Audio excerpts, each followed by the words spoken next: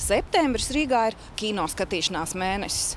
Kino provokators Arsenāls daudzus gadus šajā laikā cīnījās par skatītāju sirdīm ar glamūrīgo Baltijas pērli. Šonadēļ saņēmām ziņu, ka šogad Arsenāla nebūs. Tā vietā trīs dienas notiks filmu skate FF Rīga kā veltījums Arsenālam. Toties Baltijas pērle šogad svin jau 20 gadu jubileju. Un svētku reizē priecēs skatītājus gan ar zvaigznēm, gan izcilu filmu programmu.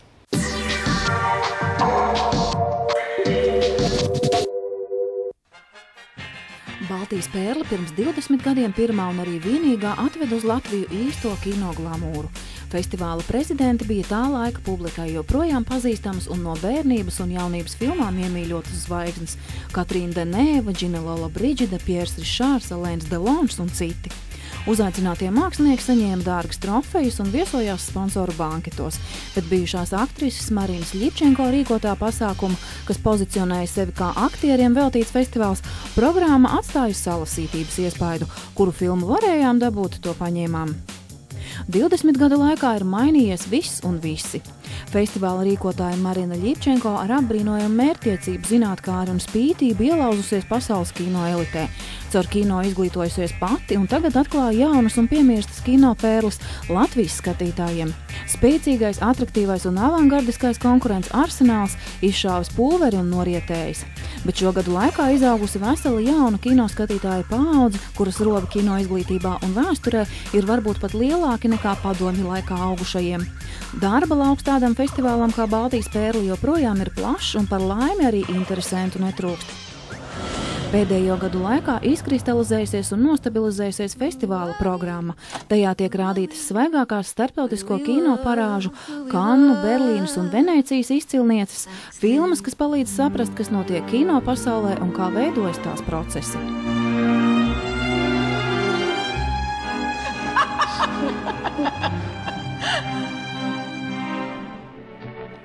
Ir arī retrospektīva pasaules kino pērļu virtene, Holivudas leģendas, laikmeta kino simboli.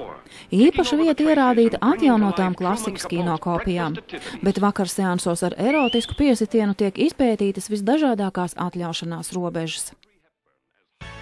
Interesanti, ka pēdējos pāris gados skatītāju pieaugušās intereses dēļ arvien paplašinājusies sadaļa kino par modi.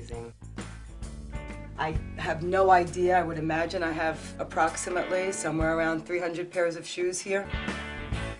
One of the great things about high heels is the way it changes your whole body.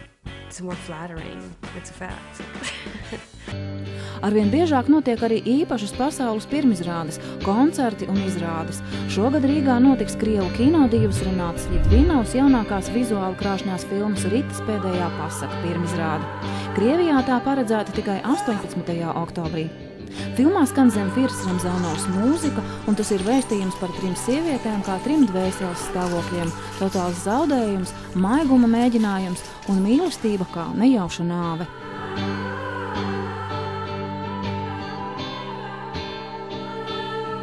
Savukārt Krievu kino režisors Andrejs Končelovskis, arī agrākais Baltijas pērles viesis, kuru vieni pazīst kā Nikitas Mihalkova brāli, bet citi kā vienu no retajiem Krievu režisoriem, kurš veidojis sekmīgu karjeru Holivudā, bet pēc tam no tās atteicies, Rīgā rīkos savas Mosave teātrī iestudētās Čehova Lūgas trīs māsas pasaules pirmizrādi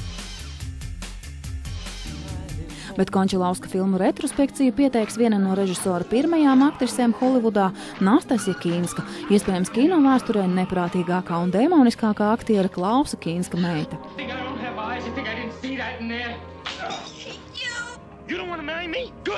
Holivudā Andrejs Končelovskis filmēs gan grāvēju ar Silvestru Staloni un Kurtu Raselu, gan smalkas melodrāmas kā Marijas mīļākie un Doitas solistei, kuras arī būs redzamas Baltijas pērlē.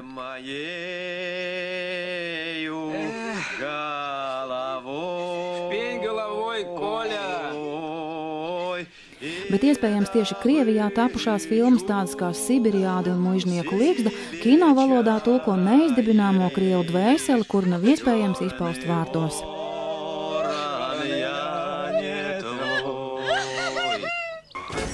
Šā gada Baltijas pērles programma no 14. līdz 24. septembrim piedāvā izvēlēties filmas starp labu un vēl labāku.